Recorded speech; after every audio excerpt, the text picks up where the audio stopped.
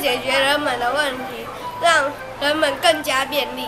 设计就是把 a 加 b 等于 c，例如把水壶加铅笔盒，可以一次装水，也可以拿铅笔。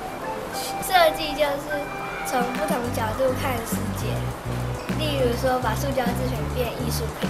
现在的设计就是把东西变得更环保，就是例如现在大家有些超商都不用塑胶吸管，都改成用纸吸管。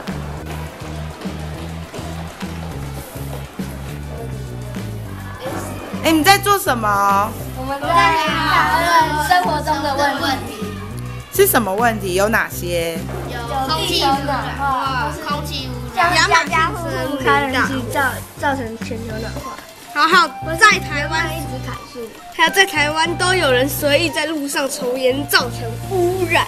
还有呢？还有一直有人砍树，让大自然空气那变请问你选择了什么样的问题呢？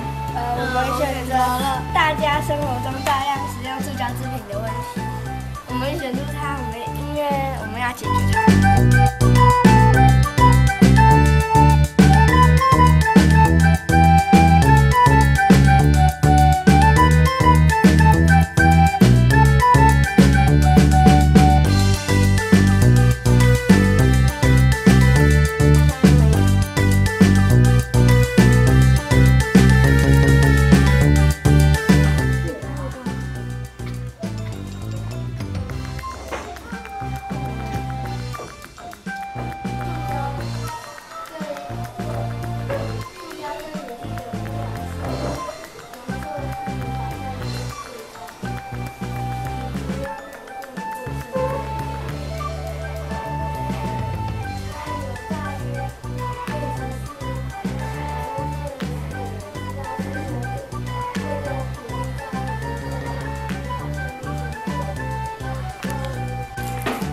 在做什么？我在我在试着利用回收的塑胶袋制作塑胶花。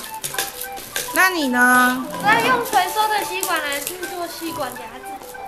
我在文泽呢？我在用回收的保特瓶在做保特瓶泡泡机。廖红胜，我在用别人不要的保特瓶，还有回回收的保特瓶来做保特瓶糖果机。哇，你们想了好多个创意点子，但是哪一个最好啊？我的，我的，好用，我的最环保，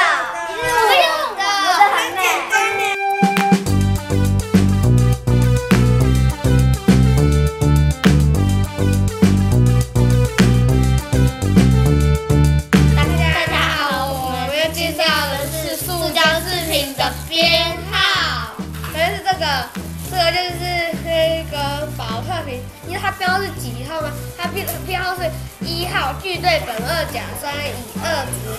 它通常在马路上便利商店还有早餐店那边有也会看到哦。那那你看，你知道这是什么东西吗？是塑胶袋，它的它的编号是二和四，分别是低低密度乙烯和高密度乙烯。它最常看到的地方是在早餐店啦、便利商店啦，还有马路旁都看得到它的踪迹哦。现在我们要来教大家保特瓶和塑胶袋的回收处理方式。所以就是你看这有一个编号一，然后有编号，以后以后有人可以进行回收喽。那回收方法就是先把盖子打开，然后压下去，然后再把盖子盖起来，就可以进行回收喽。现在我们要来介绍大家生活中最常见到的塑胶袋，它通常上面都没有写编号，所以比较难认得出来。它的回收处理方式就是先把它卷起来，之后打一个结，打一个结，之后就可以把它丢进一一般垃圾喽，或者是你可以把它留下来再再利用。现在我们要来教大家如何用的塑胶花和塑胶花盆。请看对面两位的介绍。首先，先拿五到六个塑胶袋把它平摊开，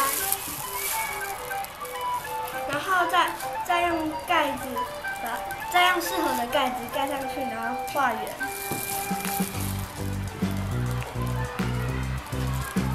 之后再再把它剪下来。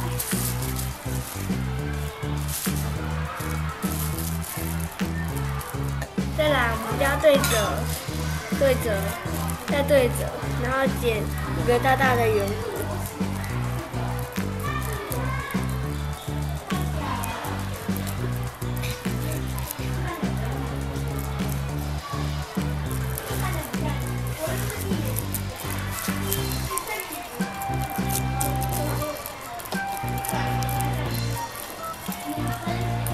打开来，就会变成一个花的形状。再来，在花的中央穿用穿洞器穿一个洞，穿好之后把铁丝对折，两个一起从花这边穿过去。穿过去以后，在后面贴完胶带之后，就会变成这样。接下来我们要一起来制作保特瓶花盆。先先把保特瓶剪一半，不要忘记剪上猫耳朵。把剪下的那一半留下来，然后涂上亚克力颜料，然后再彩绘上眼睛之类的东西。然后我们刚好有剩下的宝丽龙，可以把它塞进去，这样花就可以插在